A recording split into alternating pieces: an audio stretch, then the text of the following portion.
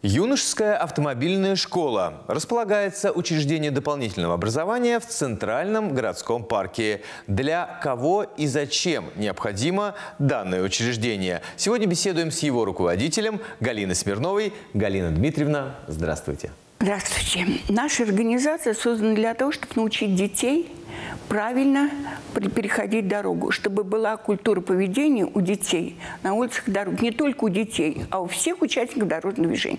Потому что дети могут быть и пешеходами, и пассажирами, и на велосипеде, а никто водитель.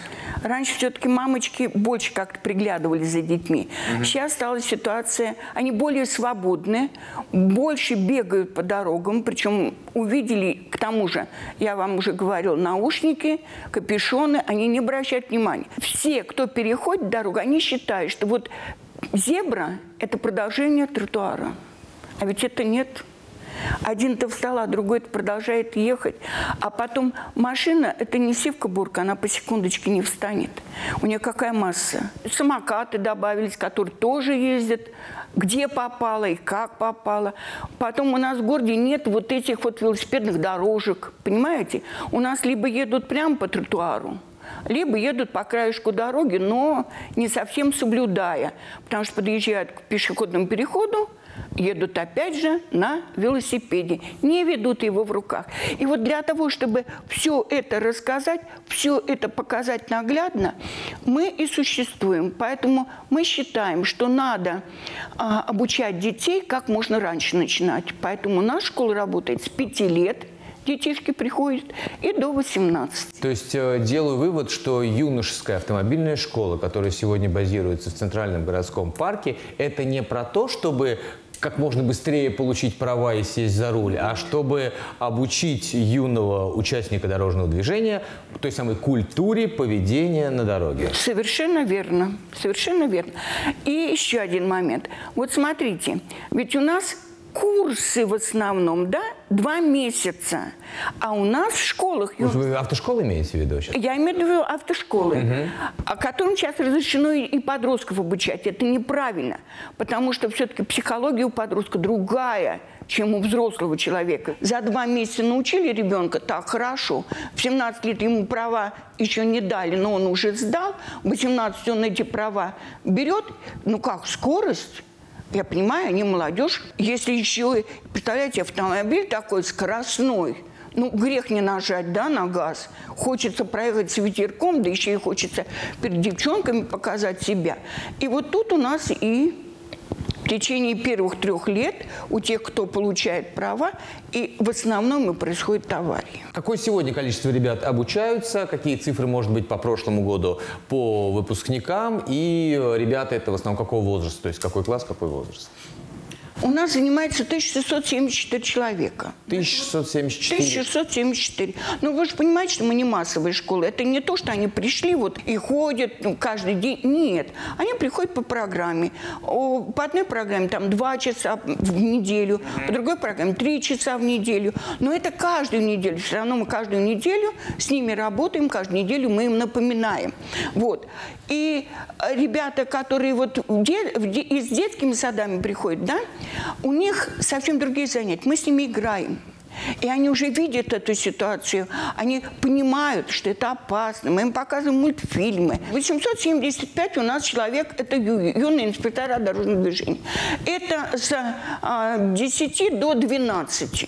Так, да? ну, половина. Ну, да. Ну, где-то 500, я думаю, 500 где-то. Это у нас детские сады. Есть такие, которые приходят класса второго, да, и до конца, до 18. Угу.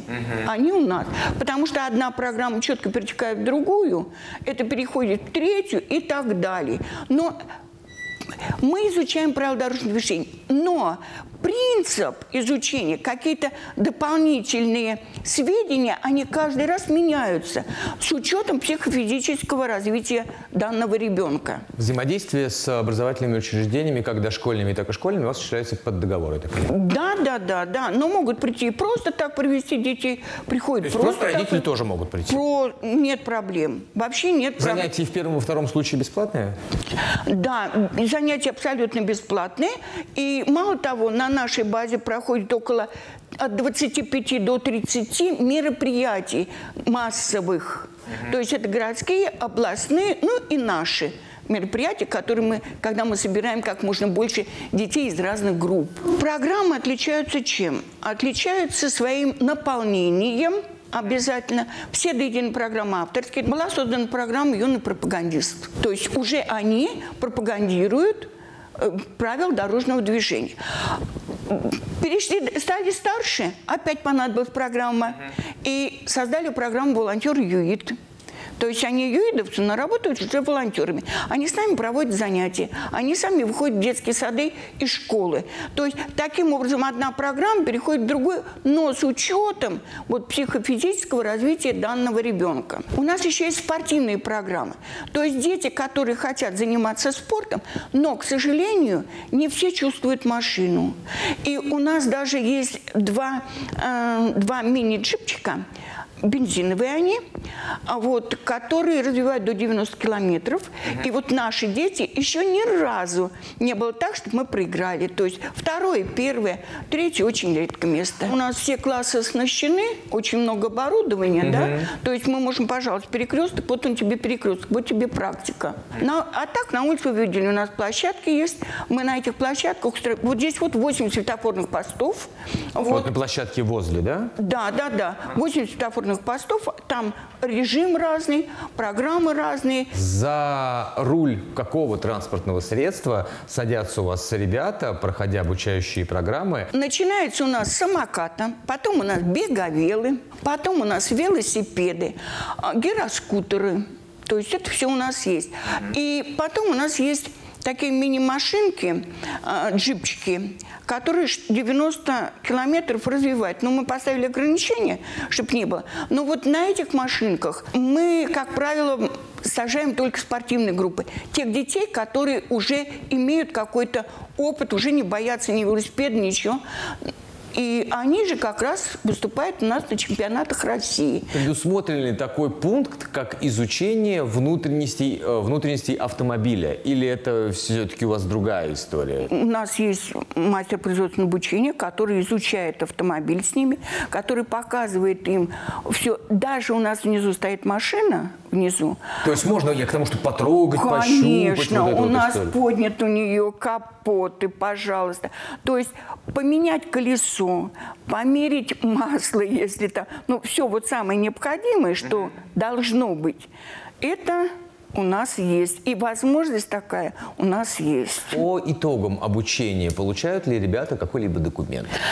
Нет, вы понимаете, мы же как дворец творчества юных. Кто-то лепит, кто-то что-то. Угу. Документ, документ получают только те, кто учится потом уже. То есть вот последний этап, что ли, последний, э, это те, кто учится на права направо. Но их у нас мало. И с 2017 года эти группы стали платными. С вождения по городу они получают в другой школе, уже во взрослой школе, с которой у нас заключен сетевой договор. Каким образом, кстати, у вас устроено сегодня взаимодействие с ГАИ? Как часто они к вам обращаются? Как часто в обратную сторону? Почему происходит этот процесс? По каким вопросам? У нас постоянное взаимодействие, потому что все мероприятия мы проводим вместе. На нашей базе, кроме городских мероприятий, проходят же еще и областные. Угу. Вот у нас будет э, скоро 555. Можете прийти посмотреть, насколько это здорово. Понимаете, это не только правила дорожного движения. Это история, например, нашего края. Это стрельба. Это полоса препятствий. То есть это то есть ребенок – это оказание медицинской помощи. Понимаете? То есть зацикливаться на правилах дорожного движения скучно. А вот когда мы и это, и это, и это… Комплексно. Комплексно, совершенно верно. И они сами по себе учат эти правила, чтобы вот и поучаствовать везде. Материально-техническое обеспечение э, юношеской автомобильной школы, хочется спросить, да, как дела сегодня с оборудованием, все ли работает, э, необходим ли апгрейд определенный? Управление образованием нас снабжает. У нас оборудования хватает. Вот все до един... У нас очень мало классов, поэтому у нас все, как сказать, э, рекреации, что ли, как сказать, снабжены и мультимедийными проекторами, и экранами, и я не знаю, и панель интерактивная есть. Ну, есть все, и телевизоры везде, и колонки, и вы сами видите, у нас оборудование, все что угодно. То есть диска... по, по технике хоть... проблем нет, все нет как бы вообще. Хорошо. По оборудованию вот такого, который для проведения мероприятий, тоже ничего нет. Если у нас чего-то не хватает, мы изготавливаем тут же сами. То есть с этим у нас проблем нет. Вот. Покупать в магазине какие-то игры или какие-то а, там, я не знаю, методические пособия мы перестали. Вот вы знаете, вот я 30 лет здесь. Угу. Вот за 30 лет не было ни одной игры, в которой бы не было ошибок купленной. Понимаете? Поэтому вот у нас на первом этаже стоит два шкафа. Это то, что сделали наши педагоги своими руками. То есть они берут эту игру и видят, что это не то. Они делают свое. Конечно, очень хочется обновить асфальт, потому что у нас на территории асфальт. Угу. Вот. И, естественно, вот эти светофорные посты, что у нас стоят, а, они стоят с 93 -го года. Но стоят, работают. Вот стоят, работают, но все равно хотелось бы, чтобы вот эти вот провода не висели через весь. То есть Хотелось бы что-то обновить, да. А так у нас, ну, видите, все есть. На нынешний год какие планы, какие перспективы? Год, да, у нас юбилейный, нам 30 лет. Хотелось бы, конечно, приобрести новую машину. А чтобы ребята, вот спортсмены-то могли хотя бы ездить вот от души чтобы накатать. И чтобы мы могли сами, например, эти уроки вождения проводить. Мы проводим их, но проводим только на территории. Из-за чего? Из-за того, что машина ну, не может выехать на... Ну, просто неудобно угу. на такой машине выезжать на улицу. В общем, нужен автомобиль. Нужен автомобиль, нужен автомобиль. Нужен автомобиль, нужен асфальт. Дом нам становится мало. Угу. Нас все больше, больше и больше. Дети нас знают все больше, больше и больше. Приходят даже сами. Вот, а мы хотим. Ну, мы с удовольствием берем, конечно. Но вы сами понимаете, что стены не раздвинуть. Мы же консультируем педагогов. Они приходят к нам, спрашивают. Не все педагоги, конечно, знают и проект перекрестков вы сами знаете, да? Угу. Вот.